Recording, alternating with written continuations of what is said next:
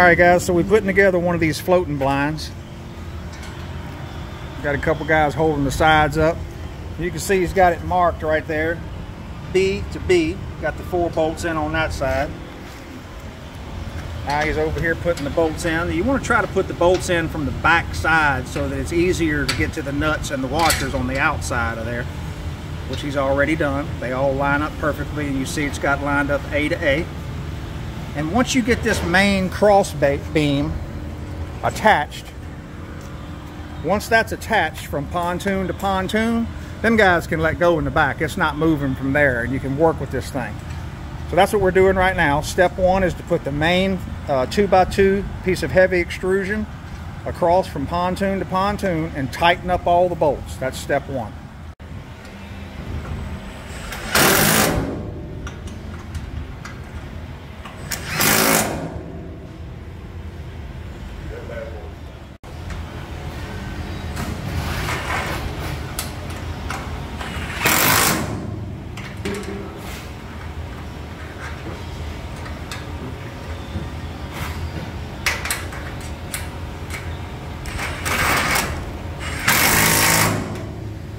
All right, now that that's done and, and, secure across there, they can let go in the back.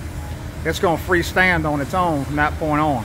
Now you can go there and start putting your braces across the front, up top right there, and in the very back, the one that you duck your head under. That's what we're starting on next, putting on the top braces. All right, guys, so what we're doing is that brace up there in the very front, right up there that goes all the way across, we bolted it in first. Now we're coming to the back um, actually the entrance, the other end of the blind that you, and putting up the brace across the top that runs from here down there. Now you'll notice they got welded letters on here. This is an F to an F. It makes it nice and easy. On the other side, there's an E to an E. So you know where these are going. And we're gonna bolt this up across the top. That's the brace you'll duck your head to go under when you go in the blind but that'll square our blind up and make all the rest of the braces nice and easy to put in. The holes will all match up once you square the blind up by putting this brace in second. We typically try to put the bolts in from the inside and let the nuts stick out on the outside, just like Jeremy's doing now.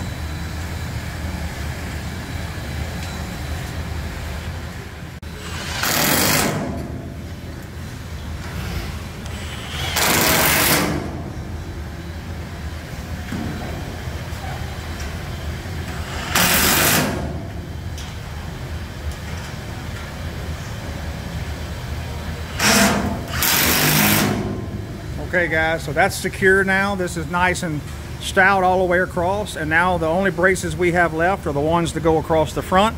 And those holes are gonna line up nicely because it's all, it's, it's uh, secured in the back and secured in the front. So the holes should line up good for us. We'll show you that next.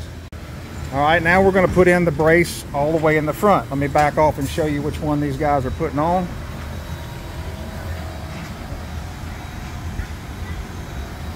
We're up top where we have D and what is this letter here? I'm not looking. two D's. Two D's. So we got a D and a D lined up. And on that end over here, we got a C and a C lined up. Same thing as we did in the back.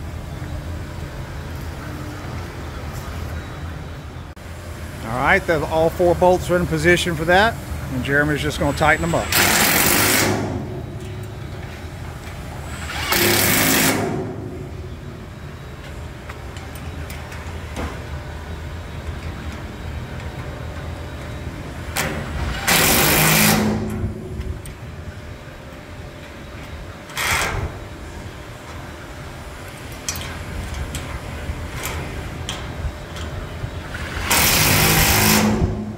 To be careful with an impact wrench, guys. He does this every day, so he knows when to let off. But you, you don't want to over tighten this uh, uh, and crush that aluminum. You can do that if you get crazy with it. These are lock nuts backed up with a lock washer. We got double safety on that, all stainless steel bolts and brass nuts so it won't corrode on you. But you don't want to over tighten that and crush your aluminum. Just keep that in mind if you're using an impact wrench. All right, so we've got a brace in the back that you duck your head under to come in. This is the forward brace up high that holds it, and makes it all rigid. The rest of our braces are going to go here. They're labeled J and H on this side and G and I on this side so you know which end to put which and those holes are going to line right up. You don't have to wallow any holes out or twist it and pull it, try to make it fit. It all should line up perfectly. We'll show you that next. All right guys, on the next brace we're doing is the very front one. Lined up H to H right there on that side.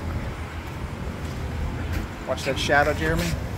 And lined up J to J on this side. Now one thing to keep in mind when you get your bolt kit and you're putting them together, there's some little bit longer bolts. These bolts are a little bit longer than the other ones for these front two pieces because they have to go through a thicker piece of aluminum. So don't use your long bolts up there where you don't need them and then not have long enough bolts to go down through here. There's only going to be one, two, three, four, eight bolts that this long. Save your eight longest bolts for your forward two most braces that go across the top.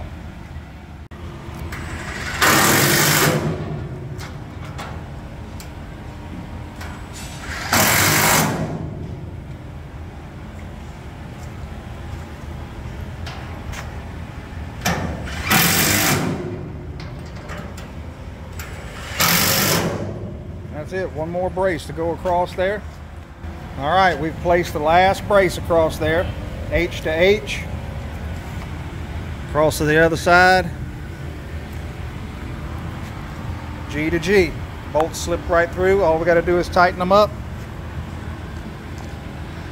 And that will be everything bolted acrossways that goes crossways and the blind will be completely assembled minus the head cover, which we'll show you next. All right, guys, now we're putting on the head cover and it'll only fit in these sockets. It's got four sockets, one, two, three, four, all the way down. It'll only fit in there one way. If you try to put it up there backwards, you'll these won't line up. That'll be over here somewhere if you try to put it in the wrong way. So it's easy to determine how it goes. And all four of these will line up just like that, all the way down. and you're going to start off by putting your bolts in the back hole closest to the frame. You're going to put that bolt in there closest to the frame. All right. Then he's going to go ahead and put a nut on that and hold it, and we're going to walk to the other end and do the same thing.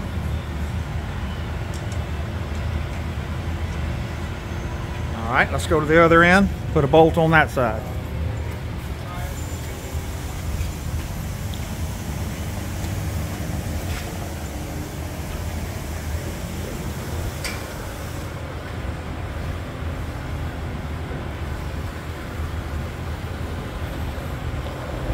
These holes that are drilled right there are drilled small, the same diameter of the bolt, so that there won't be any slack and play in those. That makes it a little difficult to find the hole the first time to get it through there, but you can see he didn't have too much trouble doing it.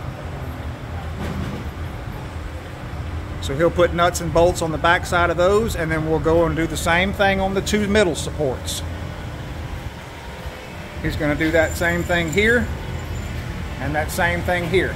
Then the, the, the, it's, that becomes a hinge. Those bolts he's putting in become a hinge for this top lid to fold down when you want it to. And we'll hold it up by pins and you can remove the pins from these secondary holes right there. We'll show you that in just a minute. All right, so he's tightening up the last one. Now, now you can see that your head cover can pivot out if you want and you pin it in place in these secondary holes. You can put a pin in every one of them if you want to, but one pin will hold that up really. Uh, you can put one on each end, one on this end, one on the end down there if you want, but you don't really have to support that with pins all the way through. And you know, you may not move this thing much. You may just decide to, when you come in, to keep your head ducked down and stay underneath it. But don't forget, you're gonna have brush coming from here out. And you're gonna have brush from here coming up. So when you pull that pin and lower that down, it opens up this whole area for you to not have to duck your head till you get all the way to the front and get your boat situated and get your boat, spud pole down. And then you can fold that back up and put the pin in it and all your brush will be stuck back out like this. That's it guys, that's how you put one together.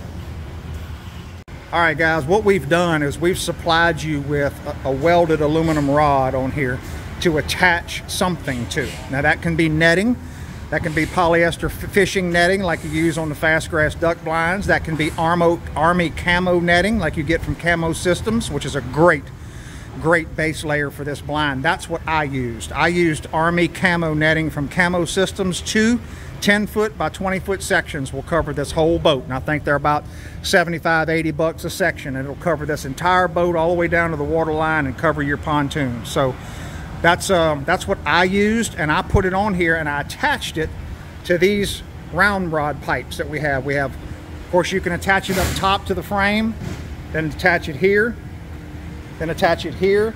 And we also got you one down at the bottom so you can attach it low so you don't have it flapping from, from this section. It's also one down there you can attach to.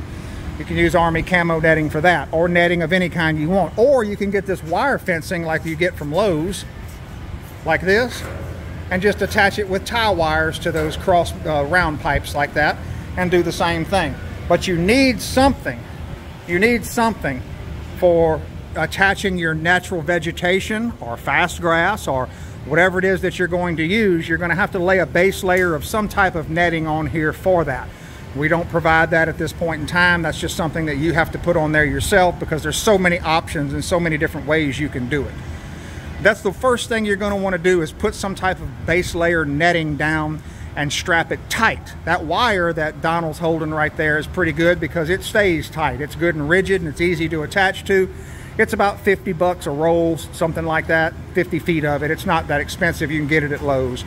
Or you can use the Army camo netting, which will also supply you with a base layer of camo that you can't see through. But you have to tie strap it tight. So couple of ways, just thought we'd point that out and show it to you while it was here.